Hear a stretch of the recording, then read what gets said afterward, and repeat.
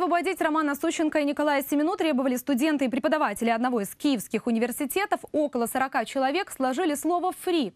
Подобные мероприятия очень важны в условиях современной гибридной войны, которую Россия ведет против Украины, говорят организаторы. Подробнее далее в материале.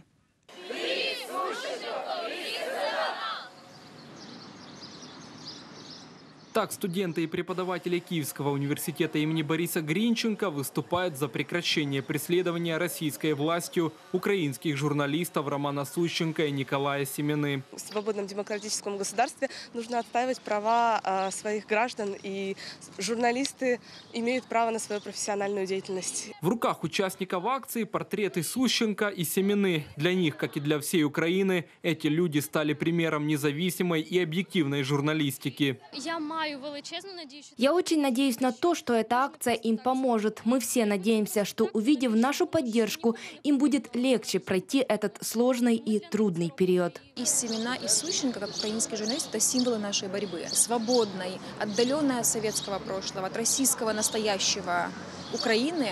А, И поэтому мне кажется, что поддержать этих людей – это долг э, каждого украинца.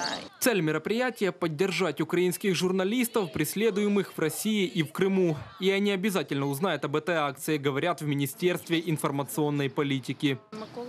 Николай Семена иногда даже имеет доступ к соцсетям. У Романа Сущенко ситуация сложнее, но ему могут передать видео с нашей акции родственники или адвокат. Участники акции уверены на стороне украинских журналистов «Правда». Надеются, уже в скором времени Роман Сущенко и Николай Семена наконец обретут долгожданную свободу. Владимир Гросл, Игорь Каркадым, UATV.